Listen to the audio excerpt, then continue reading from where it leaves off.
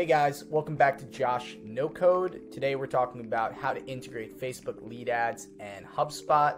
We're going to be creating a Zap that takes our Facebook leads and creates new contact records in HubSpot. Uh, it's going to be pretty simple and straightforward. Uh, there's two items to it. We're going to be talking about how to set up the Facebook lead ads trigger and then setting up the action uh, in HubSpot, which is basically just mapping some data over from the Facebook lead ads trigger. Uh, there's two bonus items today. There's um, one field that needs to be kind of parsed out in Facebook in order for it to synchronize into two fields into HubSpot. So I'm just going to show you guys how to do that. Uh, the second one is just you know how to do this with Instagram lead ads. It's pretty pretty straightforward. The process pretty pretty much the same thing, but might as well just show it. Kill two birds in one stone, um, and that's basically it.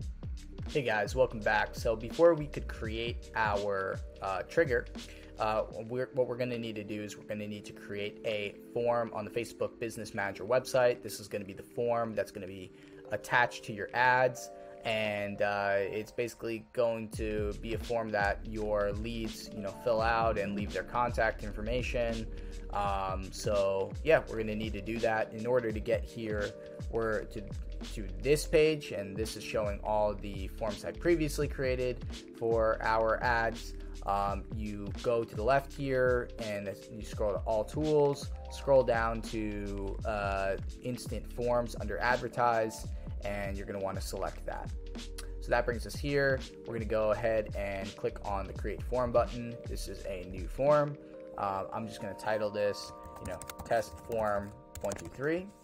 Um, and then we're going to um, now add some information about this form. Um, so you're going to have to add a background image. Uh, Facebook requires you to do that. So I'm just going to click this you know, nice, pretty Zapier picture to add that there. Nothing that great. Um, and then you're to add a headline. Again, this is for test purposes, so I'm just to call this test, test form, you know, one, two, three, something like that. Um, and then additional details. This is a test form. Now we're to add some questions. Um, as a default, basically Facebook gives you the email and full name fields, which is pretty nice, and that's actually what we need. But we'll add um, also phone number here, and you could add additional information such as street address, city, state, province, um, country, um, some user information. You could add demographic information, work information, and um, it also gives you the ability to create, you know, custom questions for the form, uh, which is also pretty nice too. You could just add a question here, you could add a multiple choice, add a short answer conditional, uh, or an appointment request, so things like that. And again, all of this that you add here, you you're gonna I'm gonna show you how you could get all that information um, out of Facebook and to other sources. But if you could do it with email, you could do it with full name and phone number, you could do it with everything else. So, a uh, few fields you need to be able to complete here in order to get started. So, first off, Facebook requires you to add a link to your privacy policy. So, I'm just going to add a link to a privacy policy for, for our website, um, just for example purposes. So, add that in. Um, now we're going to have to add um, the next thing we're going to need to add is a uh, completion step. So when someone fills out your form, they could either view your website or there could be a prompt to call the business or download something. So we're just going to have um, view website as our call to action. Um, and you can see the button is right here at the end um, to do that. So I am just going to delete this part of the URL and um, scroll down and let's see if it lets us publish this form. Oh, okay, so one little thing is missing. Uh, this is very important. You have to basically let people know how you're going to be using their data. So um, I'm just going to say here, we will use your data to contact you about our offer. That's it. Let's see. Okay, so it allowed us to publish this uh, test form. We have it here. Now let's see if we can find it into in Zapier. So I'm just going to search for the Facebook uh, lead ads trigger right here. Uh, the event pop um, shows up, new lead triggers when a new lead is created, and let's see if if it could find the form we just created.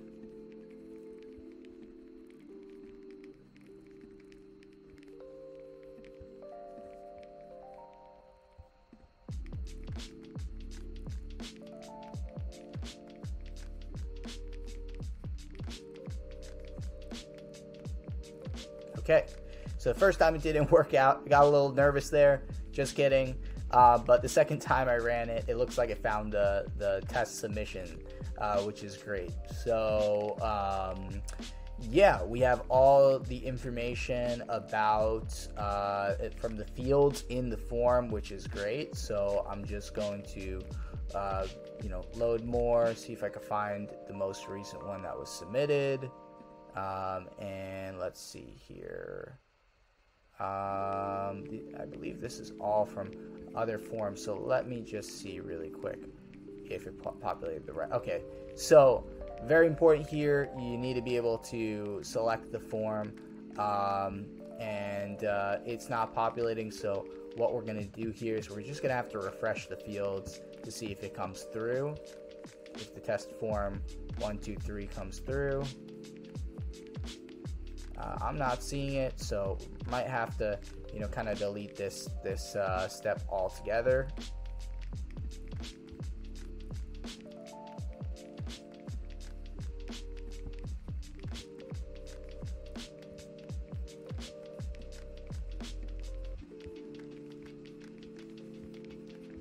All right, let's just see if we could um, we could uh, do this again from another zap really quick.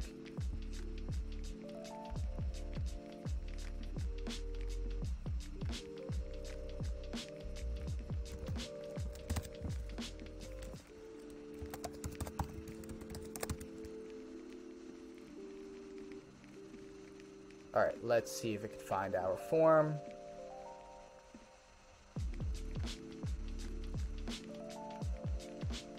All right, there it is. So test form one, two, three. We're going to see if it is, if it could find a submission. Uh, yeah, and so it found the test submission. You can see it has all the information we need.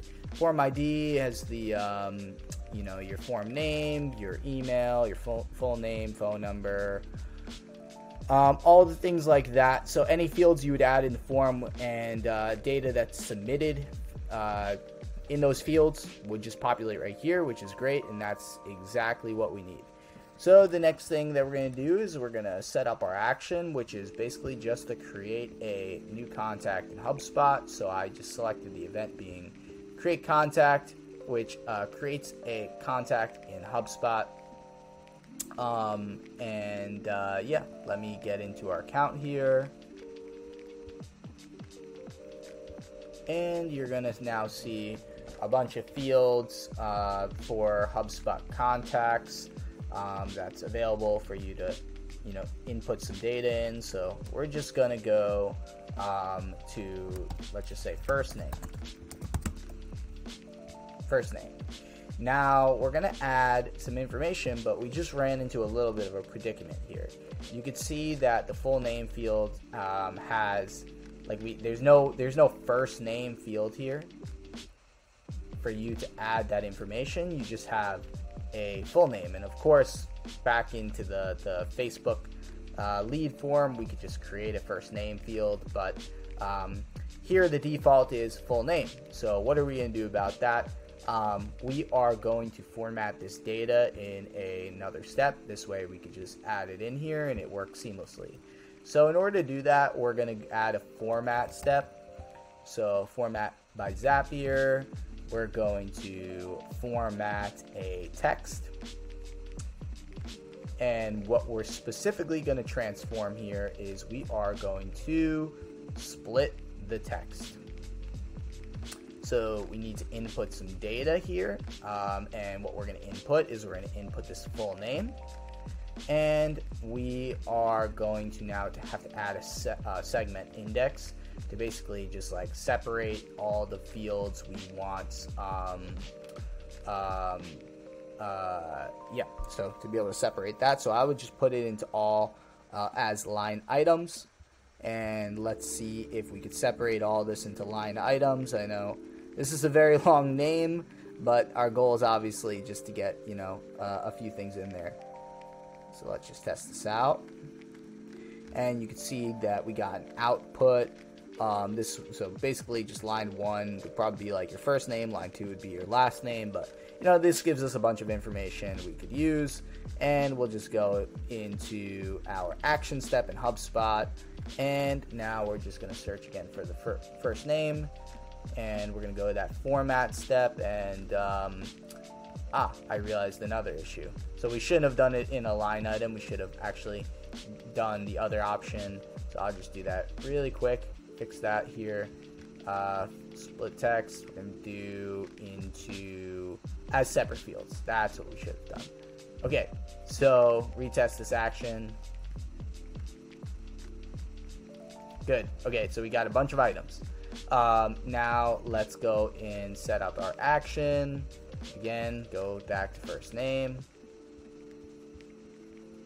And we are we could see that we have uh, a bunch of options. So again, output one would probably be like your first name, output two would be like your last name. So we'll just add output one test. And now we're gonna go back to last name to the last name field, and we're gonna just add um, that second output, which is lead. Okay, so last name lead. So we got the first name, the last name in there. Then we're gonna search for the phone number field. Um, so contact information, phone number, and uh, this one we can just go right into to Facebook, and we'll just add this information just for example purposes. And um, last but not least, the email. So searching that, and let's try to find it.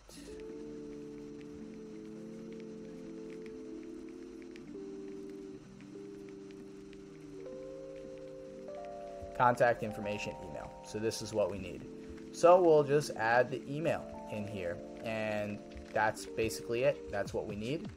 And uh, yeah, you could also do some other cool things here. They have life cycle stage, which is which is nice.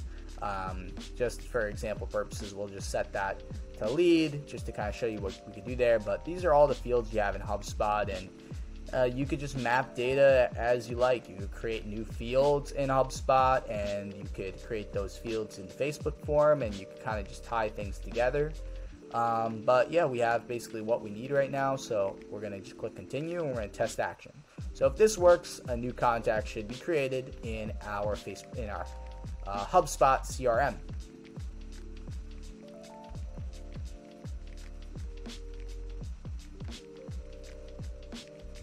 Okay, so it looks like a contact was sent to HubSpot two seconds ago.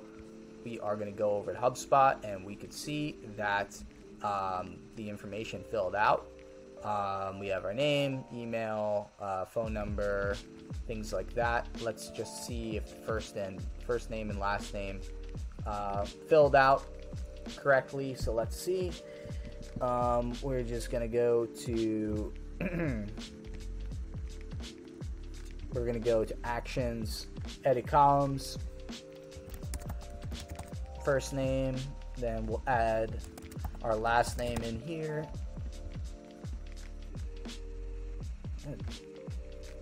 And you can see that the test and lead populated correctly into our fields.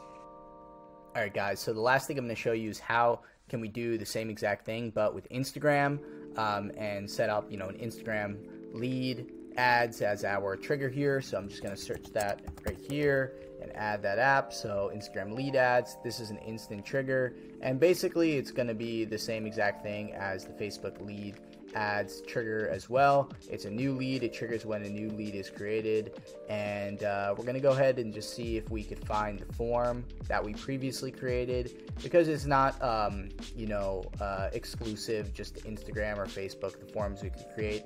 Um, a form could be used for both platforms. So let's just see if we could find it. Uh, we load it up and we see our test form 123 uh, loads up here. And we'll just go ahead and we'll test that out and you can see now that the uh, the data that we previously had on the the the, for, the example form submission for the Facebook lead ads is exactly the same. So um, this is how we would basically just do it with uh, Instagram. And that is basically it for today. Um, hope you guys really enjoyed this video. Um, don't forget to like and subscribe to my channel if you want to continue seeing uh, more content and more videos. And if you have any ideas as far as um, any future content, just drop it in the comments and we'll we'll get to work on it. Um, guys, thanks so much for tuning in, and we will see you in the next video.